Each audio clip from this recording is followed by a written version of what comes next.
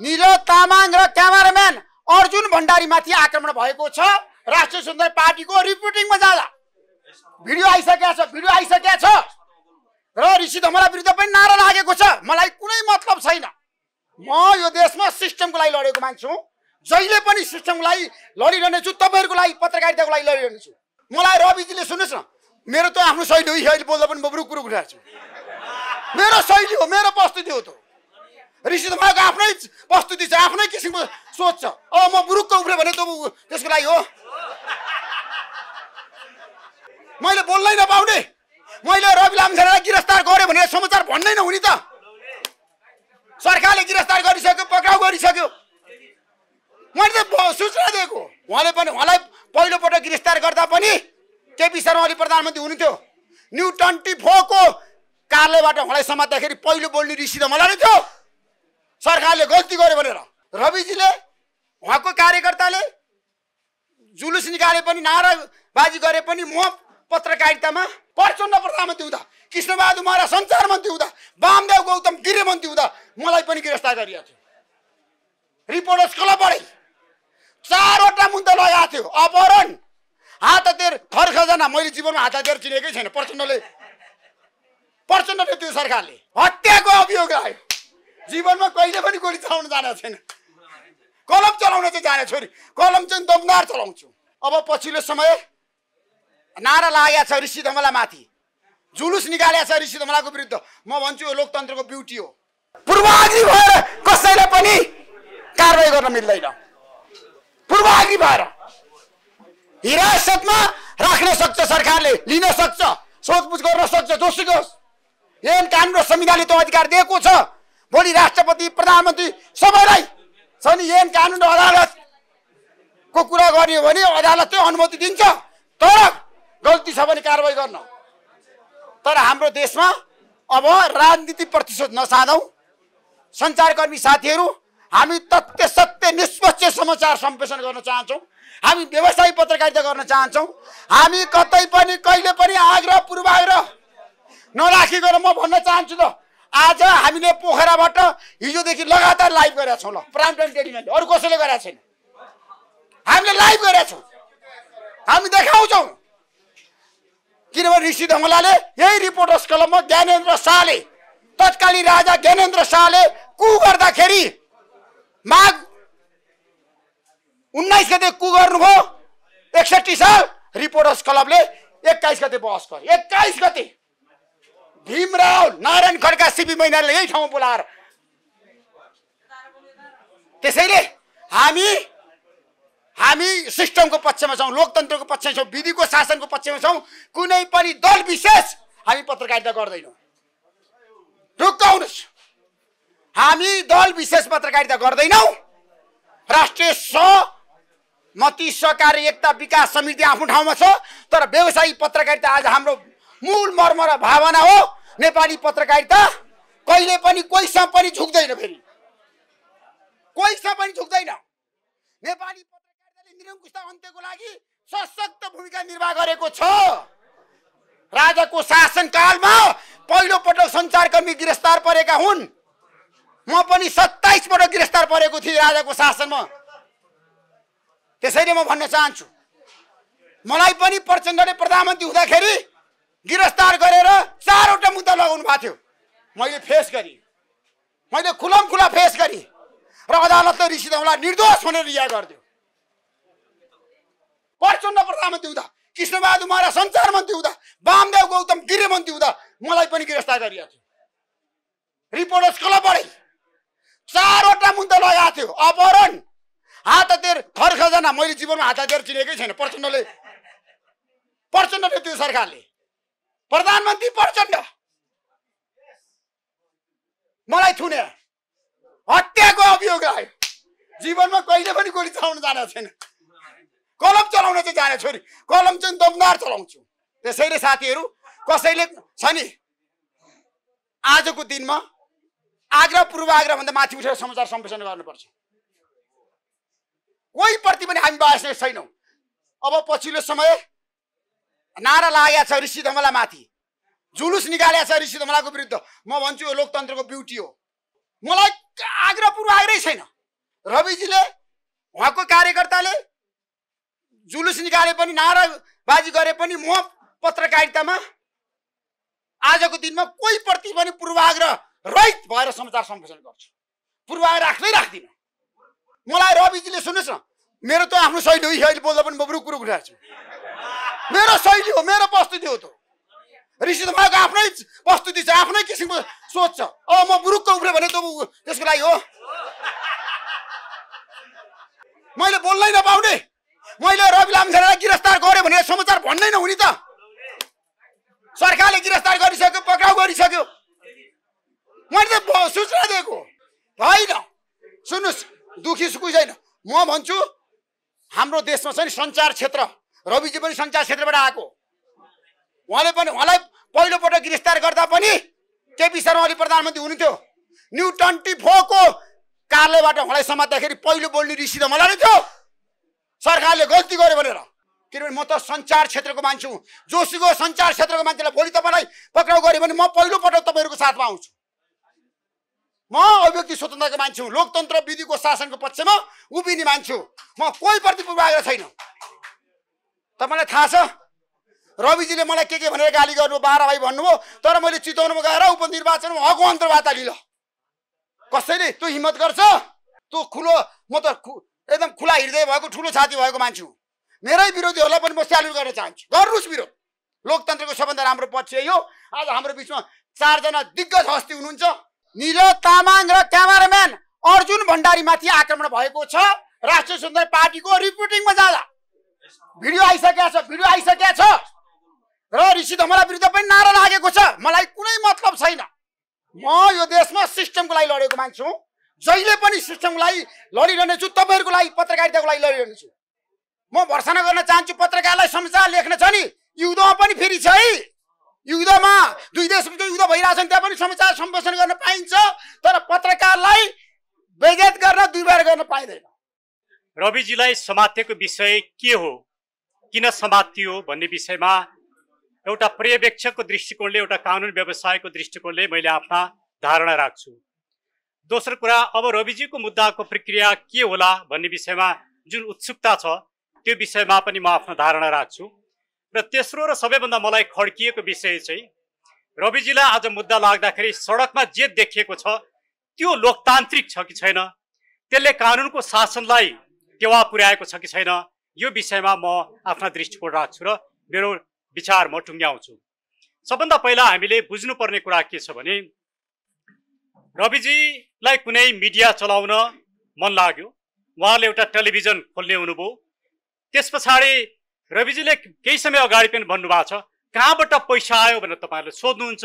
Share होल्डरले tax तिरेको पैसा कानुनी रूपमा वैध रूपमा लगानी गरेको पैसा हो भनेर भन्नुभयो।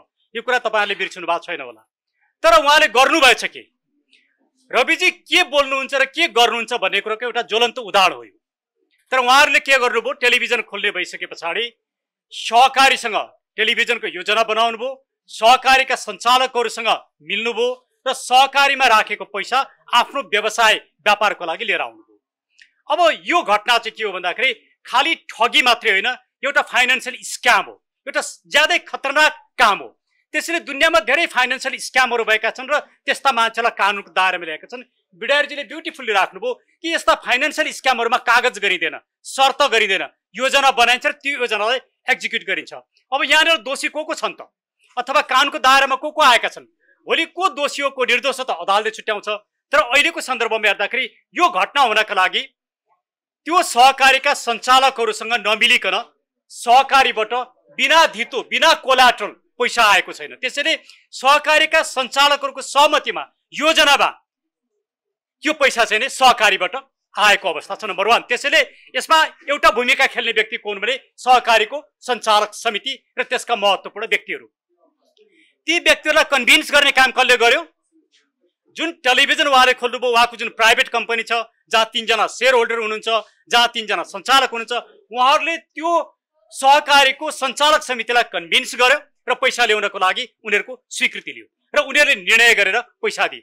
पैसा दिँदाखेरि पहिला कुरा त हामीले हाम्रो कानुनलाई हेर्नुपर्छ। सहकारीको पैसा व्यापार बिजनेसमा टेलिभिजन खोल्नका लागि लगानी गर्न पाइँदैन। पहिलो कुरो त यो नै गैर कानुनी काम छ। दोस्रो कुरा कोल्याट्रल नराखिकन सहकारीको पैसा कुनै पनि ब्याङ्कको पैसा कोल्याट्रल नराखिकन ऋण लिन पाइँदैन। रविजीहरूको यो समूहले कोल्याट्रल नराखिकन कुनै धितो नराखिकन पैसा लिएको छ दोस्रो। तेस्रो त्यो पैसा लिइसके पछाडि रविजीले के भन्नुभयो? होइन म त पछि सञ्चालक समिति भएको मलाई त के थाहा हुन्छ र भन्नुभयो। हामीले कम्पनी कानुनमा अघि पनि प्रश्न आएको थियो। कम्पनी कानुन अन्तर्गत दुई किसिमका कम्पनी मूलत धेरै किसिमका तिन तिन किसिमका कम्पनी छन् नेपालको कम्पनीमा तर दुई किसिमका मूलभूत कम्पनी छन्। एउटा प्राइभेट लिमिटेड अर्को पब्लिक लिमिटेड पब्लिक लिमिटेडमा सेयर होल्डरहरूको दायित्व आफ्नो सेयरसम्म मात्र हुन्छ। जस्तो भन्नुहोस् कुनै एकजना व्यक्तिको एक हजारवटा सेयर छ त्यसको मूल्य पचास हजार छ भने त्यो पचास हजारसम्म मात्रै उसको दायित्व हुन्छ। तर प्राइभेट लिमिटेड कम्पनीमा जब कोही व्यक्ति सञ्चालक बन्छ कोही व्यक्ति सेयर होल्डर बन्छ भने त्यो कम्पनीको धन त्यो कम्पनीको ऋण लाइबिलिटी र एसेटमा पूर्ण रूपमा अनलिमिटेड रूपमा उ उत्तरदायी हुन्छ। त्यसैले उसको सीमा आफ्नो सेयरसम्म हुँदैन। त्यसैले रविजी जिबिजी छविजी नाम पनि मिलेको छ। रविजी छविजी जिबिजी तिनैजना अनलिमिटेड रूपमा त्यो सहकारीको पैसाको लागि उत्तरदायी हुनुहुन्छ। त्यसैले यो एउटा बिल्कुल सामान्य किसिमको ट्रेडिसनल किसिमको ठगी नभएर एउटा स्क्याम हो फाइनेन्सियल स्क्याम हो। त्यसैले यस्ता फाइनेन्सियल स्क्यामहरूमा गहिरो गरी अनुसन्धान र अध्ययन गरिनुपर्छ। यस्ता फाइनेन्सियल स्क्यामहरूलाई राम्रोसँग अनुसन्धान गरिएन भने व्यक्तिहरू चोखिन सक्छन्। अब मैले यो प्रकरणमा अब रविजीलाई समाउनु पर्दैछ कि पर्दैन थियो भन्ने विषयमा एक्ज्याक्टली र म्यानेजिङ डिरेक्टर चाहिँ त्यो कम्पनीको सम्पूर्ण कुराको लागि उत्तरदायी हुन्छ म्यानेजिङ डिरेक्टर जसले डे टु डे निर्णय गर्छ कम्पनीको सञ्चालक समितिको उत्तरदायित्व लिन्छ सम्पूर्ण कुरा उसको रेखदेख र नियन्त्रणमा हुन्छ। त्यसैले कम्पनीका सञ्चालकले कम्पनीको सम्पूर्ण निर्णयमा सम्पूर्ण त्यो कम्पनीले त्यो कम्पनीले गोर्खा मिडिया प्रणाली जस्तो लाग्छ मलाई होइन? गोर्खा मिडिया प्रणाली। गोर्खा मिडिया नेटवर्क तर त्यो प्राइभेट लिमिटेड कम्पनी हो। त्यो गोर्खा मिडिया प्राइभेट लिमिटेडले त्यसको सञ्चालक समितिले निर्णय नगरिकन कहीँबाट पनि ऋण लिन पाइँदैन। त्यसको पैसा लगानी गर्न पनि पाइँदैन। त्यसको सम्पूर्ण लाइबिलिटी र एसेटमा त्यसको सञ्चालक समितिको पनि निर्णय हुन्छ।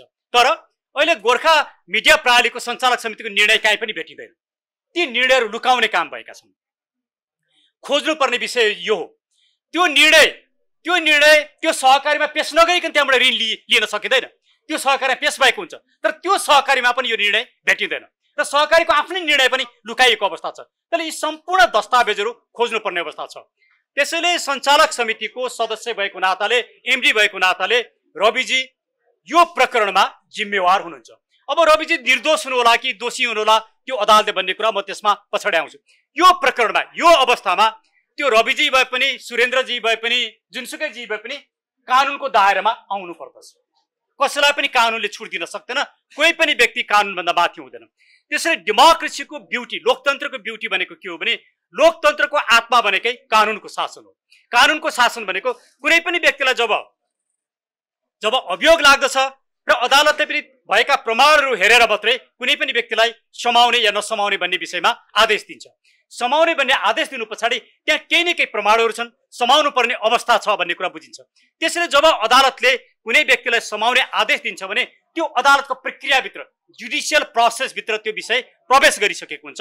जुडिसियल प्रवेश विषयमा जुडिसियरीको क्षेत्राधिकारमा प्रवेश गरेको विषयमा सडकले निर्णय गर्न हुँदैन।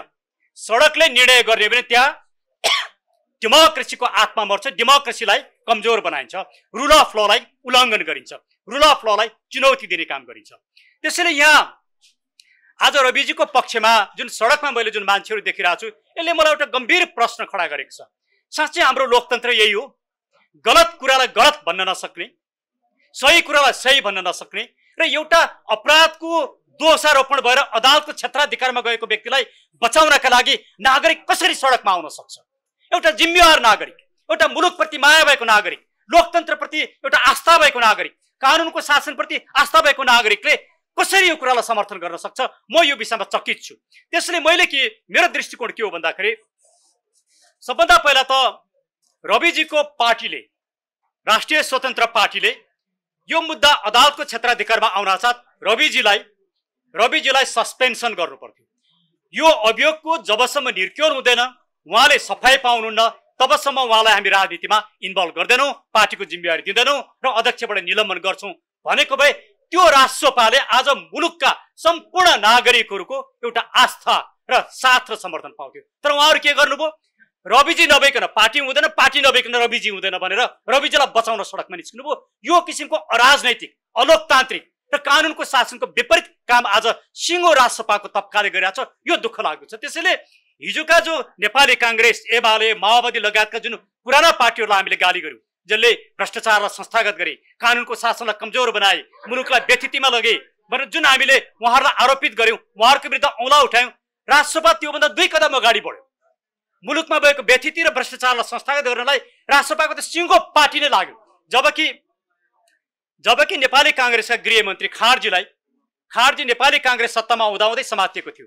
नेपाली काङ्ग्रेसको कोही पनि व्यक्ति सडकमा आएर उहाँको बचाउ गरेको र नारा जुलुस लगाएको मैले देखिनँ। त्यस्तै एमालेका नेता गिरफ्तार हुँदाखेरि पनि मैले नारा जुलुस लगाएको देखिनँ।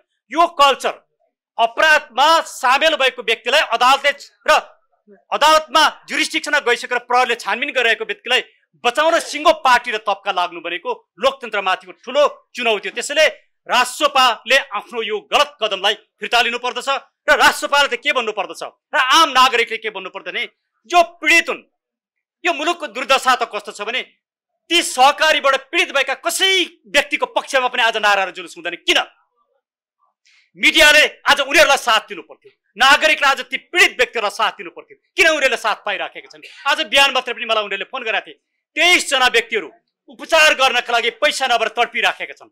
उनीहरूको सहकारीमा राखेको पैसा निकाल्न नपाएर आज उनीहरू मृत्युको सङ्घारमा छन्। यसको जिम्मेवारी कसले लिने? त्यसैले म आम नेपाली नागरिकलाई भन्छु आज तपाईँ रविको पक्षमा सडकमा निस्किने होइन कि आज ती सहकारी पीडितहरूको पक्षमा सडकमा निस्किनुहोस् हामी तपाईँलाई साथ दिन्छौँ। त्यसले मात्रै लोकतन्त्रलाई बचाउँछ त्यसले मात्रै कानुनको शासनको रक्षा गर्दछ त्यसले मात्रै सहकारी पीडितले न्याय पाउँछ। रविजीले के भन्नुभयो? अहिले सडकमा के भन्नु भएको छ? सहकारी पीडितलाई हामी न्याय दिन्छौँ। त्यो न्याय दिने सबभन्दा पहिला त्यो तपाईँले लिएको कति करोड छ त्यो साठी सडसठी पैँसठी कति करोड हो त्यो पैसा तिर्दिनुहोस् न्याय भइहाल्यो नि। सहकारी पीडितले पैसा पाइहाल्यो नि। तपाईँ पैसा तिर्ने कुरा कहिले पनि गर्नुहुन्न। अनि तपाईँ के कुरा गर्नुहुन्छ? रवि निर्दोष छन् रविलाई न्याय चाहियो सहकारी पीडितलाई न्याय चाहियो। के हो सहकारी पीडितलाई न्याय भनेको? सहकारी पीडितलाई न्याय भनेको उनीहरूको पैसा ब्याज सहित फिर्ता हुने हो।